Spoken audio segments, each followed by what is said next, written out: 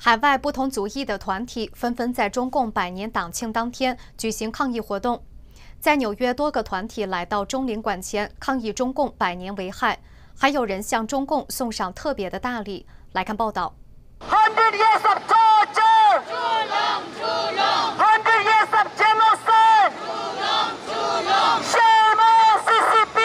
来自中国、缅甸、西藏、香港等地的民众提着喇叭，对着中领馆高喊口号，呼吁结束中共。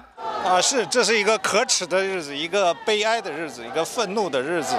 啊，中共危害中国人、危害世界一百年，太长了。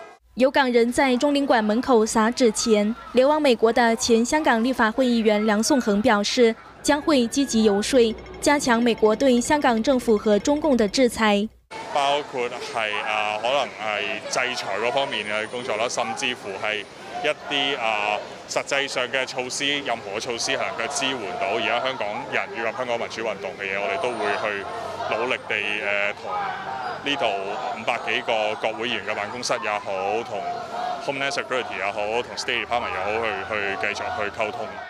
有来自中国的民众与会，希望华人民众认清中共不等于中国，反抗中共人人有责。